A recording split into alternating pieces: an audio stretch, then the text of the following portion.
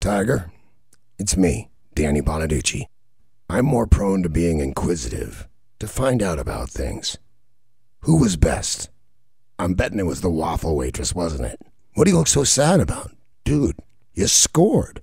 It's me, man. You can tell me. I cheated more times than you, not with this high class a woman. But, dude, you're the man. So here's the question Can you teach me something? What are you looking at?